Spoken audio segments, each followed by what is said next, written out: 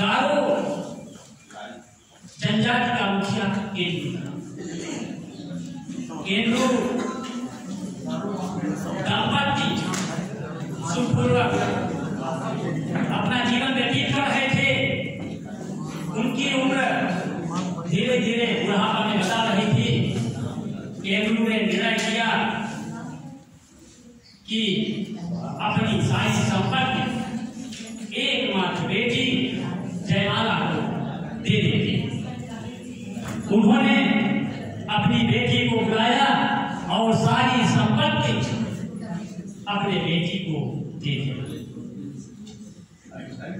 और केंद्र की पत्नी ने भी सारी संपत्ति मिल जाने के बाद अपना संदूक खोला और एक एक करके बेटी को सौंपने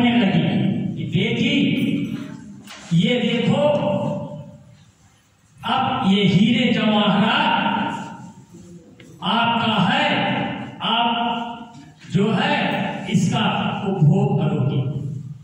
लेकिन वो जयमाला ने जैसे देखा ये रुमाल कहा कि ये मेरे लिए माँ दुपट्टा बहुत बढ़िया है। माँ ने मना किया, ना बेटी ना बेटी, इसको तुम नहीं छूना। इसको छूने के लिए एक शर्त है। शर्त ये है कि तुम एक मंत्र बोलोगी। अब बिना मंत्र के इस दुपट्टे को नहीं छू सकती। मंत्र क्या है? वो अयोगी अयोम अयवर हरवर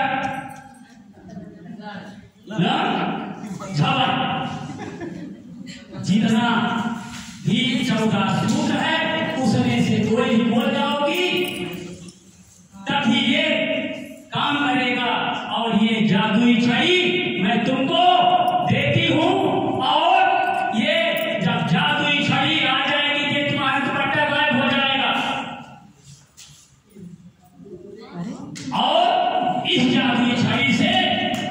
मन चाहा, चाहे जो काम कर समय बीतने के बाद दाम्पत्य सिधार गए। जब दाम्पत्य सिधार गए तो जयमाला ने खेलना चालू किया छड़ी से। छड़ी से खेलते खेलते उसको एक ये डिब्बा मिला, वो गेंद से खेलने लगी। गेंद से खेलने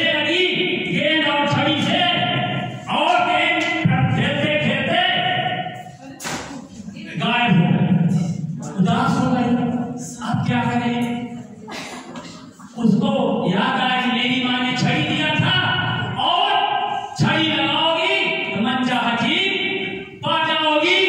लेकिन आपको करना क्या होगा? मंत्र तो बोलना पड़ेगा।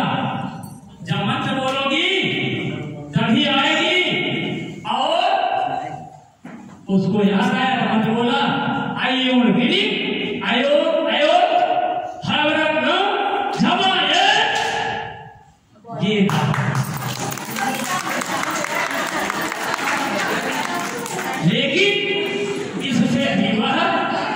नहीं। हुई उसका मन चाहा कि अब तो हमको माँ ने कहा है हम बड़े बड़े मंगाएँगे रसगुल्ला खाएँगे, मिठाई खाएँगे।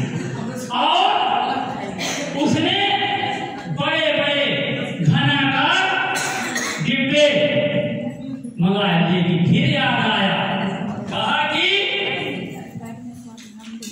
बिना मंत्र पढ़े और बड़े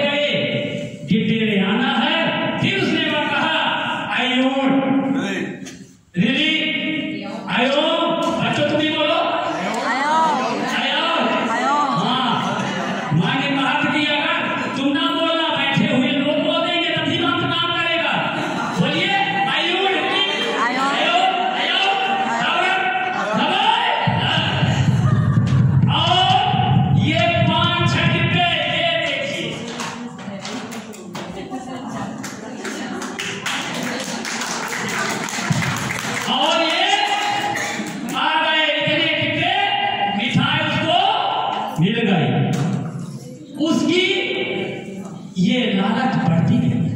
जब लालच बढ़ती गई तो उसके एक झोली दिया था और झोली में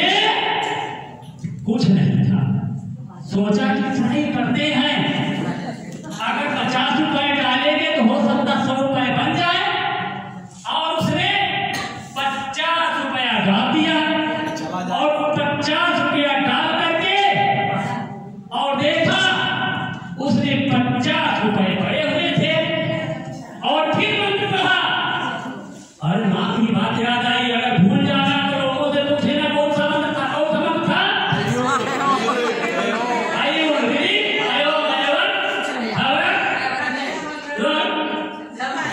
गणनम। आधा भी मंत्र बोल देना तभी काम कर जाएगा।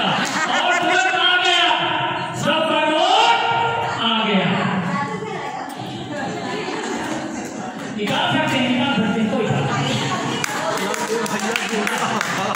लेकिन उसकी लालच हाँ माँ ने कहा था कि मंत्र को एक ही बार यूज़ करना और उसने लालच उसको लालच आ गई और पाँच सौ रुपए का नोट डाल दिया। डाल दिया पाँच सौ रुपए का नोट। देखिए और